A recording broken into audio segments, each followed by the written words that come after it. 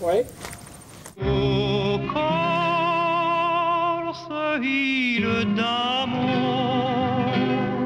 Il y a quelqu'un? Bonjour madame.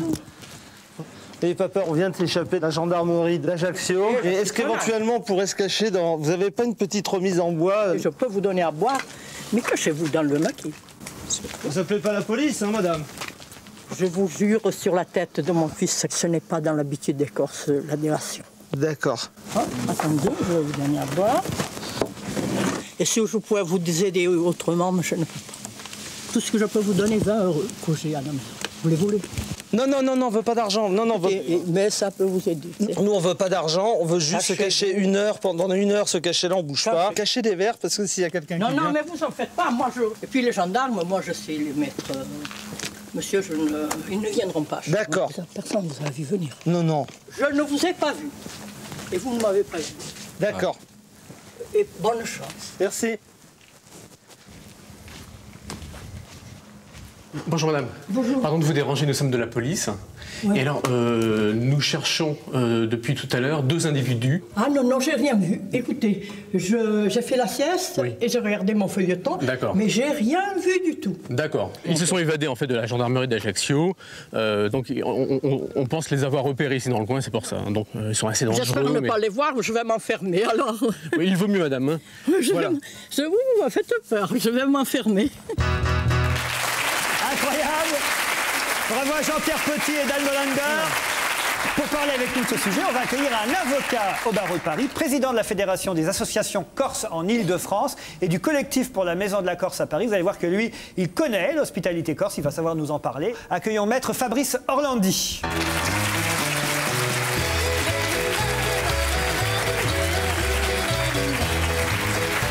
Bonsoir maître. Alors vous avez vu ce sujet euh, en coulisses, quelle réaction ça suscite chez vous? Réaction euh, à la fois partagée. Je pense que, euh, effectivement, le reportage que vous avez fait, bon, même s'il a piégé des personnes qui sont un petit peu, euh, je dirais, qui n'ont pas la, notion, je dirais, de la justice et qui ont peut-être une, autre notion dans ces villages de l'hospitalité. Moi, je voudrais dire une chose, c'est que je pense que l'hospitalité n'est pas un défaut. Et que si aujourd'hui la France, et notamment tous les Français, avaient été un petit peu plus hospitaliers, on n'aurait peut-être pas eu ces 11 000 morts cet été. Voilà ce que je voudrais dire, parce que euh, j'ai été choqué par un reportage hier soir où une voisine qui disait que euh, sa voisine était décédée, qu'elle a téléphoné à sa fille pour lui dire voilà, votre mère est morte. Et la fille a répondu je ne vais pas écourter mes vacances pour aller à l'enterrement de ma mère. Ça, c'est de Vous l'hospitalité. voulez dire qu'encore ça n'existe pas pas. Il n'y a pas eu de victime de la canicule solitaire encore Il y a eu de la victime de la canicule, certes, mais en attendant, ils ne sont pas dans des mouroirs à attendre leur enterrement. Gérard, réaction? Non mais je vais vous dire, moi j'aime la Corse, j'aime les Corses, je me suis toujours senti bien. Mais je ne suis pas non plus pour faire de la démagogie. Je considère qu'il y a une différence à faire lorsqu'on parle d'hospitalité entre des gens qui ont pu voler. Et c'est vrai que les voleurs parfois, même graves, je ne peux pas m'empêcher lorsqu'ils sont dehors de sourire. Mais lorsqu'on a atteint à la vie de quelqu'un, lorsqu'on a blessé des gens, lorsqu'on leur a tiré dessus, vous ne pouvez pas mettre ça sur le même plan. Ce qui me gêne, c'est qu'on considère que tous les délinquants, si j'ose dire, présumés ou réels, sont sur le même plan. Pour moi, quelqu'un qui a violé, quelqu'un qui a tué, quelqu'un qui a blessé volontairement, ça n'est pas la même chose qu'un voleur. Et à plus forte raison qu'un voleur de mob. Donc vous, vous englobez, si j'ose dire, tout le monde dans ce concept de l'hospitalité. Non, On ne pas du... demande pas forcément à la personne qui se présente devant, ça, devant, devant notre porte qui vous êtes, d'où vous venez, euh, quel est le motif de votre venue. Je veux dire, on- tout le monde. ben, on devrait. Tout le monde, oui, mais on ne va pas le faire. Et puis il y a le cœur qui parle aussi. Et, euh, et voilà, moi, je ne suis pas certaine de pouvoir fermer ma porte à quelqu'un qui vient me demander de l'aide, même sachant ou ne sachant pas euh, ce qu'il a commis euh, dans, dans le passé. Quoi. Je ne suis pas sûre de pouvoir le faire. Je crois, pour, pour vous répondre, qu'il faut faire la part des choses. Il faut faire la part des choses de la personne qui viendrait, qui a commis un crime auquel, effectivement, vous ne pouvez pas savoir ce qu'elle a fait. Et il faut faire la part des choses entre l'amitié, c'est-à-dire, je vois que vous affichez actuellement le cas Ivan Colonna, et qui est un cas particulier parce que tout est parti de ce cas-là sur l'hospitalité, etc. Pourquoi ont-ils logé Ivan Colonna? Pourquoi certains lui ont ouvert la porte, etc. Je pense qu'il faut faire cette part des choses. Et je m'étais expliqué déjà en ce qui concerne, et j'avais eu des propos peut-être qui avaient choqué certaines personnes, mais le cas n'est pas difficile. Vous avez un ami, un ami qui commet un crime. Cet ami vient taper à votre porte. D'accord? Vous savez qu'il est, en tous les cas, présumé, euh, je dirais, coupable dans un assassinat qui est certes condamnable par l'ensemble de, de la, de la communauté corse. Cet ami-là, qu'est-ce que vous allez lui faire? Vous allez lui fermer la porte et lui dire non, écoute, c'est bon, tu es trop recherché, va-t'en, va faire, va dans le maquis, etc. Ben moi non. Moi je vais lui ouvrir ma porte. Vous, je vais vous lui auriez dire ouvert votre porte à Colonna si c'était un ami. Ouais. Si c'était un ami, je lui ouvrir ma. je C'est lui- pas un ami C'est pas un ami. non, donc, vous donc, donc, admettons là, et, euh, on va Je- prendre je un exemple concret. vous êtes en Corse, chez vous, vous avez une maison en Corse Mais il viendrait pas vers moi. C'est Ah pas oui. mon ami. Vous êtes incroyable, maître. Mais vous Yvan, Yvan. Colonne, il était logé par des gens qui, l'ont, qui, le, qui le connaissaient. Par la famille. Mais c'est tout, par la famille, monsieur-. Vous avez parlé, vous, de votre exemple à vous. Moi, je ne connais pas Monsieur Colonna. Il Moi est peut-être innocent. Moi, je ne serais pas comme vous. C'est vrai que l'ami, je lui fermerai pas la porte. Je le ferai rentrer vous m'avez et je réfléchirai avec lui Eh ben, s'il eh ne doit ben- pas avoir un avocat, s'il ne faut pas qu'il Eh se dénonce à la justice. Qu'est-ce qui s'est passé C'est ce que j'allais vous dire. C'est ce que j'allais vous dire. C'est-à-dire que je lui ouvre ma Ah, porte, je lui offre le gîte et le couvert, et je lui dis voilà, maintenant tu vas te rendre parce qu'à un moment donné, il faut savoir arrêter. Mais sache que je ne peux pas te loger. Isabelle Mergot, est-ce que vous, vous ouvrez votre porte à quelqu'un qui vous demande l'hospitalité Hospitalière, mais pas complice. Je lui donne le gîte, euh, le manger, le coucher, Et tu le dénonces. mais je lui... mais je lui dis, surtout ne raconte rien. Ah, c'est ça. Voilà. Faites comme si vous n'aviez. Vous savez que vous lisez pas les journaux, vous, donc euh, à la limite vous recevriez Colonna sans savoir qui c'est. Ah, complètement. mais Je croyais que c'était le mec du Ma- de Martin Circus, en fait. Il lui ressemble vachement. Euh, Moi, je pense que ça, Stevie dé- ça dépend qui frappe à la porte. À partir du moment où il y a l'État français, par, par exemple.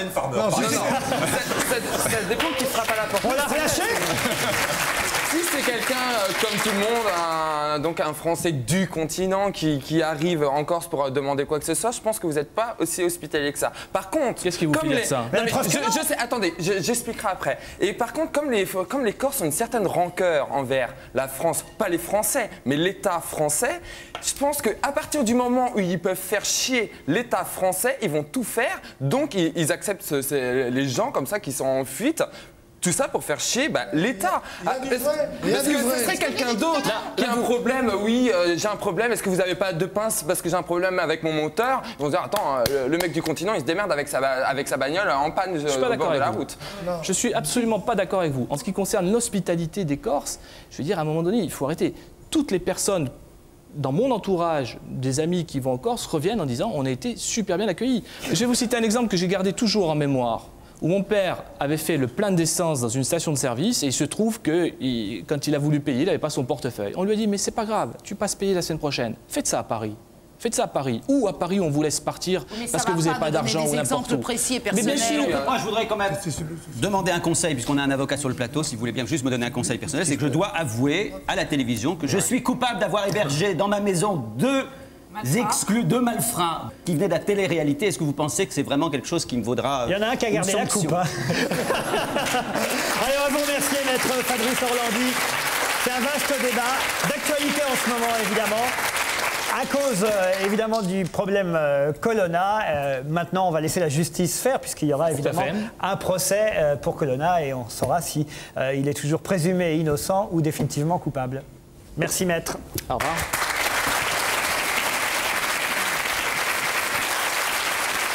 Nos derniers invités pour ce soir. À partir du 10 septembre au Théâtre de la Renaissance, vous pourrez aller les voir dans Nuit d'ivresse, la fameuse pièce de théâtre écrite et mise en scène par Josiane Balasco. L'année dernière, c'est Francis Huster qui incarnait le rôle de Jacques Belin, un animateur euh, télé assez riche, qui rencontre une pauvre fille. La pauvre fille, c'était déjà Michel Bernier l'année dernière, mais c'est Pascal Légitimus qui s'y colle cette année aux côtés de Michel, qui elle n'a pas été remplacée, donc parce qu'elle est vraiment très douée manifestement pour jouer les filles bourrées. Remarquez, Pascal Légitimus, il est non Il n'est pas noir, lui aussi, totalement Si, c'est J'aurais pu bien. m'en passer.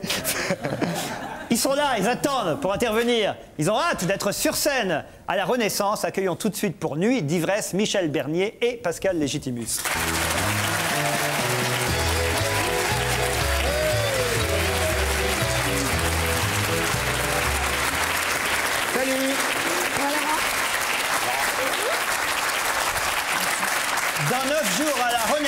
Un nouveau duo euh, sur scène pour une pièce qui triomphe, on peut le dire, depuis des années. Alors, c'est vrai déjà toute la saison passée aux côtés de Francis Huster.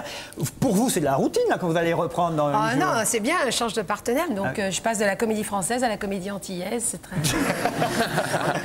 Voilà. Dites, euh, ça fait quand même euh, 22 ans, je crois, que... que- Oh, pourquoi 22 Non Non, mais que vous n'aviez pas travaillé ensemble. Oh non, ça fait moins que ça. Ça fait. euh, Bouvard, c'était 82, 83. Ah, 82, 83. Oh, ça fait 20. Ça fait 21 Oui, bah, Ça fait 21 ans. Il y a des moments où, ah non, on est tient. C'est facile de jouer un type bourré. Alors, je vous connais un Oui, peu oui. dans la vie. Je ne vous ai jamais vu toucher un verre Non, d'alcool. c'est vrai que je suis un petit peu noir par endroit, mais je ne bois pas. Donc Alors. ça, c'est c'est déjà une chose. Non, mais en même temps, c'est un rôle de composition, donc c'est moi, ça me dérange pas du tout. Je vais essayer d'être Est-ce que vous crédible. saviez comment ça faisait quand on était bourré? Alors, Est-ce que euh, vous l'avez déjà été? Il m'a regardé. il a Non. Bénichou. Ce qui me semble bizarre, c'est que tous les acteurs disent pour jouer un type bourré, surtout ne pas avoir l'air d'un type bourré. Ben oui. Alors comment on fait pour avoir l'air d'un type bourré sans avoir l'air d'un type bourré quand on joue un Mais type parce que bourré t'es bourré dans la Je- vie- C'est un monsieur que je parle. oui, non mais c'est vrai. Non, mais ce que je voulais dire, c'est qu'effectivement, pour jouer quelqu'un de bourré, faut, quand on est bourré soi-même, on veut montrer qu'on ne l'est pas. Donc, Absolument. au contraire, on a des gestes, on- au lieu de faire ça, au lieu de faire ça, on essaye d'être bien comme. Alors, de temps en temps, Voilà, ça dérape, ça. mais effectivement, donc, On essaye d'être digne. la nécessité Ouais. d'être euh, d'être sobre. Et en plus, il y a des gens qui sont venus écouter un texte, donc ça serait aussi bien de leur donner plutôt que de faire un espèce de. comme ça, Huster, il buvait avant. euh, Ah non, mais Francis, Maintenant, vous pouvez tout dire. Ah non, non, Francis, il boit pas non plus. Il boit jamais. Non, non, je- j'ai des partenaires euh, qui sont sobres. Et, et Michel, vous avez dit que, au contraire, vous buviez plus du tout. Ah, Euh, moi pour- oui. Ah oui, non, non, j'ai toujours bu, moi. Mais... Répondez, Michel. Non, non, je, je- je ne bois jamais avant de jouer, ça c'est sûr. Après, euh, je, Oui. je suis bien d'accord pour une petite coupette. Voilà. D'accord. Elsa, est-ce que vous y croyez en Pascal Légitimus à la place de Francis Huster? Ah ben absolument. Non, non, mais en même temps, j'ai un petit peu le pistolet sur la tempe, donc bien entendu, je vais y croire. Non, soyez sincères, je vous en prie. Mais J'attends de voir. Francis Huster que je croyais pas. Oui, c'est vrai que c'est D'abord parce que j'y crois jamais. Et, et ensuite, et, et ensuite parce que ce genre de rôle, Francis, ça tu nous avait, ça avait regardes. pas tellement, ça avait pas tellement l'air d'être un, un rôle pour lui. Non, non, mais je voulais savoir si vous étiez vraiment très très proche de Francis Huster et si vous connaissiez bien sa vie. Euh, pas vraiment, non. Euh, Bon, on va proche. faire- euh, vais- On va faire un petit test. J'ai quelques Oui. petites questions assez basiques. Si vous lisez les magazines People, normalement, vous devriez vous en sortir avec Ah, faut que je réponde. Oui, il va falloir que Ah, vous répondiez. sympa. Quel est le prénom de votre femme, Francis? Ah oui, Chr- Non, Christiane. non, carrément, là, là, là on c'est joue vous Vous êtes Francis Huster. Huster. Vous êtes Francis Oui, alors, euh, euh, ma femme, euh, Christiana? Christiana. Quel personnage avez-vous incarné? Là, c'est très facile dans le dîner de con. Euh, Juste le blanc, comme elle dit. Non, juste. euh, juste, Juste, juste, Très bien. juste au court. Juste. Quel lieu porte votre nom? Là, c'est un peu difficile. Quel lieu Huster Porte votre nom. non, mais où ça se trouve? Il y a un lieu qui porte votre sur, nom. euh. Huster, euh, à l'estomac peut-être, je sais pas. euh.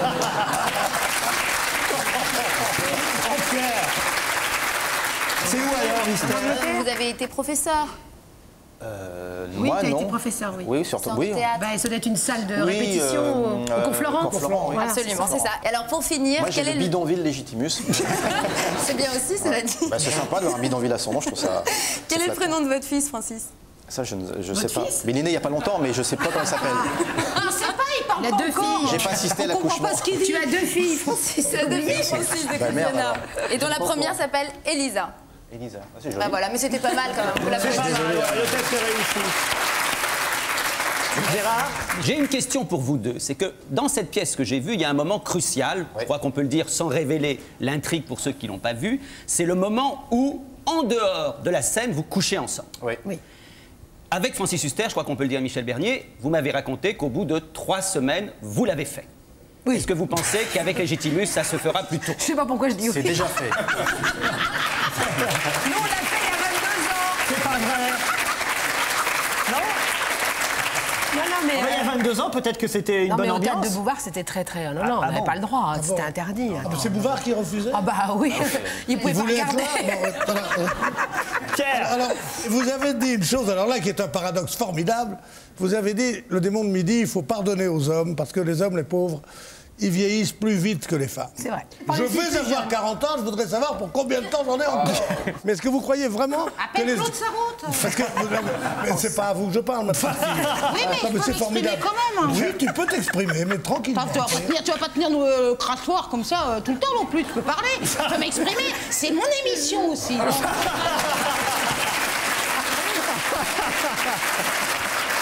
En, tout- en- en tout cas, elle, elle vient de prouver qu'on ne perdait pas sa virulence après 40 ans. Peut-être, Légitimus, pouvez-vous apprendre à Bénichou comment jouer le rôle d'un homme élégant et charmant, Oui. peut-être Oui. ça serait utile. Un homme muet. Je ne l'ouvrirai plus. Stevie Et ce que je trouve génial, c'est que chez vous en particulier, et je trouve pas ça chez beaucoup de personnalités, mais vous, vous êtes vraiment franche, sincère. Enfin, on voit que vous jouez pas un rôle et vous êtes exactement comme vous êtes dans la vie. Et et il y a très peu de personnes dans la télévision parce que généralement tout le monde prend une veste pour aller à la télé, alors que vous, vous avez vachement l'air naturel et on a l'impression que vous vous protégez par de l'humour alors que euh, vous êtes vachement plus sensible que fort, je m'excuse, je m'excuse Pierre, mais c'est vrai que Stevie a moins parlé, mais quand il parle, c'est plus intéressant. Bravo Stevie, c'est très bien. Très bien. J'ai envie de vous demander si vous savez, Pascal et Michel, ce que c'est qu'un flash mob. Alors, une mob, je sais ce que c'est, un flash, je sais ce que c'est, les deux ensemble, je ne vois pas. Alors, un flash mob, c'est un truc tout nouveau.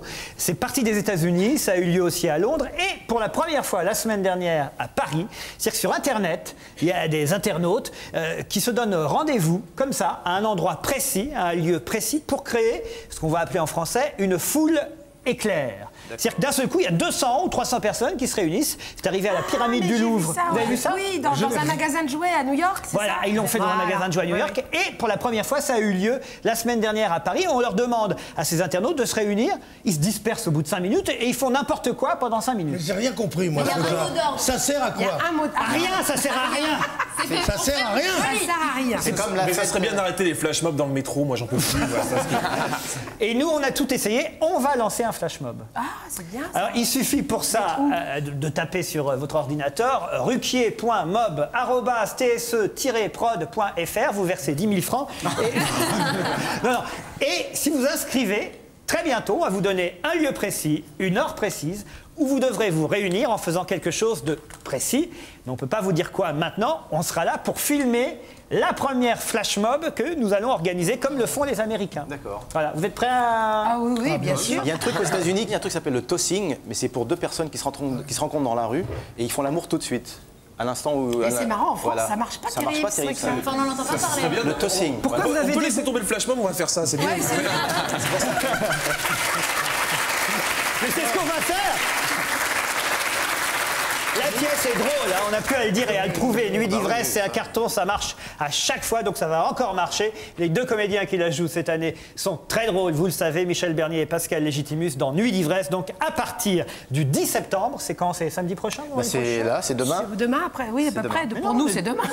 On est le premier alors. C'est mercredi, Ah, mercredi. Mercredi c'est-. Dans 8 jours. quoi. Voilà, on fait la rentrée des classes et puis voilà. Réservé dès maintenant. Michel. Bernier, Pascal Légitimus, Nuit d'ivresse. Merci, vous restez Merci. avec nous. Oui. D'accord. Parce qu'on a un nouveau jeu à la fin de l'émission. Je ne vais pas vous demander si vous connaissez le nom parce que c'est plus le qui a dit quoi. Ah, ni le qui a vu qui Ni le qui a vu qui. C'est qui qui a fait quoi non quoi, Non, non, ça non. Ça s'appelle le Takafini.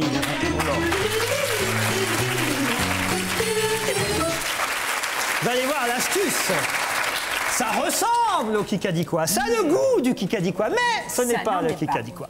Le tac à finir sont des phrases qu'on a relevées dans la presse. Je vais vous donner euh, les auteurs de ces phrases, ceux qui les ont prononcées. Ça, pas de problème. hein. Avant, il fallait trouver qui euh, avait dit quoi. Là, je vais vous dire tout de suite qui a dit, par exemple, vous donner le premier exemple. Laurent Fabius, ce week-end, aux universités d'été à La Rochelle, nous a raconté ses vacances. Et voilà ce qu'il a dit, Fabius. Il a dit On m'a appris un proverbe en moto, c'est que le monde est divisé en deux, les motards et... Les motards et les motos. Et les piétons. Non, Et les Les gauchistes motards et les cons. ça rime, autant vous le dire. Les Les motards. connards et Les connards. Non, Pas ça. connard. Les bâtards. Les- Bâtards. Les motards et les bâtards. Il aurait dit ça, Laurent Fabius. Ah, il s'est lâché. Et Il les s'est lâché à mort. ringards. Les ringards, c'est pas ça. Mais on se rapproche, on se rapproche. C'est plus proche de... Et les barbares. Loubard. Jobard. Les jobards. Bravo, Pascal Légitimus. C'est Ludivine Sagnier, comédienne à l'affiche actuellement d'un film de Claude Miller, la petite Lily, qui a dit Quand j'étais petite, ma sœur me déguisait. Je passais des heures assise à me laisser maquiller en. Non mais elle se maquille, euh, ça- la façon dont, dont elle- de- comme elle se maquille. Oui, c'est ça. La façon comme elle se maquille d'ailleurs, c'est là qu'elle. Ou la façon ou la tenue, elle, elle se faisait maquiller en culotte Maquillée, ou en je sais pas quoi. je me laissais maquiller. Oui, elle était déguisée en culotte. Oh, tu fais un slip. Attendez. Un personnage Oui, Jean-Luc, un personnage mignon. Pas si loin de Gaston Lagaffe, En d'ailleurs. motard. Dalton. En Schtroumpf, bravo Encore une. Vous voulez vraiment pas Allez. On en a un en stock. Allez. Allez, un tac à finir pour Eddie Mitchell. À titre personnel, a dit Eddie Mitchell, Gainsbourg me manque, mais... Je le remplace mieux. L'homme tape bambou, il suis numéro un Mais non, enfin Mais je bois Mais, quand même. mais- mais c'est bon pour ma santé. Exactement, bravo Pierre Bénichou Qu'est-ce- qu'il y a, Stevie Stevie. Il est pas bien. Non, si ça va, je me tape bambou, je suis numéro 1. Ah oui, c'est la blague. Ah oui, oui, c'est la blague qu'on a faite au mois de juin. D'accord. Ah, Merci d'être passé Merci, chez nous en premier vous, cette merci. semaine, ça nous a fait plaisir. Merci Pascal. Légitimus, Michel Bonne Bernier, chance. Nuit d'ivresse. Bye bye, à demain.